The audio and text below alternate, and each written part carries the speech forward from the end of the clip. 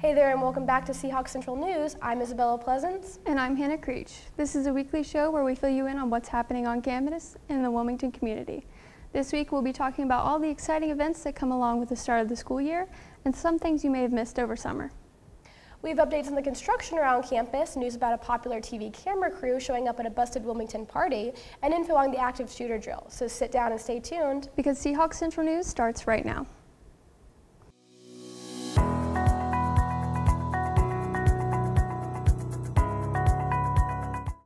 The Lifetime Original Series Live PD Women on Patrol has been shooting in Wilmington for several months, and the first season featuring our city has already aired. However, some UNCW students learned the news of the, WPD's involvement in the national TV show The Hard Way when camera crews arrived on the scene of an off-campus party last week along with responding officers. The show follows women police officers while on the job and claims to provide an unfiltered look into the realities of police work. Live PD, of course, follows privacy protocols that blurs the faces of anyone who wishes to not be filmed. However, if you tune in within the next few months, you may notice some familiar scenery and faces. During summer break on August 13th, there was an active shooter drill performed in several locations on campus, such as Randall Library, Kenan Auditorium, DeLoach, and Bear Hall. University Police Department, regional first responders, the university leadership team, student volunteers, and other campus units came together to help refine the school's response to a real active shooter situation. The university believes that the exercise was success and a beneficial learning experience for everyone involved. If you would like to learn more about how to react to an active shooter situation, visit the University Police webpage.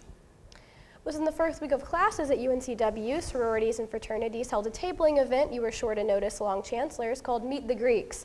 This event is meant to advertise to potential new members, or PNMs, particularly incoming freshmen. Roughly only 11.6% of students are actively involved in Greek life at UNCW, which is considerably less than regional averages.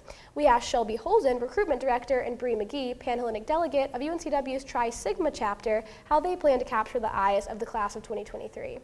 I just like being on the recruitment side of it, like as um, a recruiter for a chapter on campus, the main thing that we try to do is market just because Greek life here really is kind of small. You just see all the development that's happening yeah. and that's just going to attract more and more students. So our job on the marketing side is to get more people attracted to Greek Both Holden and McGee wish for Greek life at UNCW to flourish in the future and are happy to help make it happen.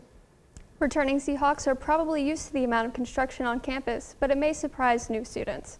Not to worry though, several of the big construction projects are coming to a close this school year.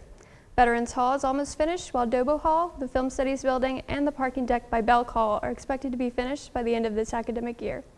The new residence halls are well on their way for their fall of 2020 opening. Amidst all this, construction will begin on a new dining hall and a coastal engineering building. Above all, I think students and faculty will be ecstatic to have Dobo back. Before we see you again next week, here are a few fun or interesting things going on UNCW students should know about.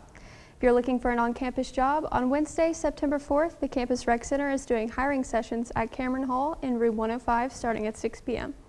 Also on August 30th, the Wilmington Ice House is hosting a campus-sponsored ice skating event starting at 10 p.m. Admission is $3 at the door with a student ID. Well, that's all for us this week. Don't forget to like, follow, or subscribe to UNCW TealTV on your favorite social media platform. If you have any story suggestions or just want to talk about the show today, leave us a comment. With Seahawks Central News, I'm Hannah Creech. And I'm Isabella Pleasance. Thank you for watching, and we'll see you next week.